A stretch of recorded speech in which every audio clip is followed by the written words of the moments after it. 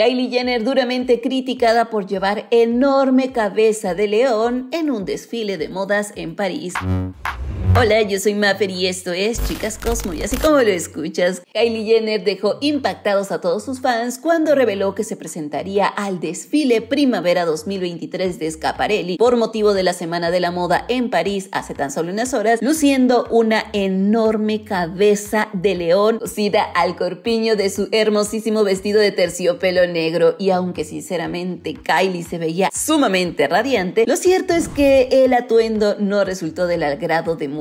Y es que a pesar de que la misma Kylie Jenner confirmó en sus redes sociales que se trataba de una cabeza totalmente falsa de león, recreada y construida a mano con materiales hechos por el hombre, el resultado tan solo sirvió para dividir la opinión pública. Y aunque celebridades como Shay Mitchell elogiaron el aspecto en la sección de comentarios de su publicación, otras personas en las redes sociales no quedaron tan emocionadas con el accesorio, asegurando que el aspecto tan realista de la cabeza tan solo lo hacía ver perturbador y de muy mal gusto. Sin embargo, las cosas se pusieron aún más candentes cuando el mismo diseñador Schiaparelli demostró que ese no era el único vestido que había confeccionado luciendo una enorme cabeza de animal. Schiaparelli fue objeto de críticas por su colección inquietante que ha sido acusada de promover la caza de trofeos después de que las modelos se pavonearan en la pasarela precisamente con réplicas de animales salvajes. Y es que grandes nombres dentro de la industria del modelaje como Irina Saik o Naomi Campbell estuvieron entre las modelos que lucieron precisamente grandes cabezas en sus vestidos. Irina llevaba exactamente el mismo vestido que Kylie, solamente que con una manga larga en un brazo, mientras que Naomi llevaba la cabeza de un lobo en su atuendo negro. Por su parte, el diseñador dijo en Instagram que las cabezas de animales falsas que aparecieron en el desfile estaban destinadas a representar la lujuria, el orgullo y la avaricia,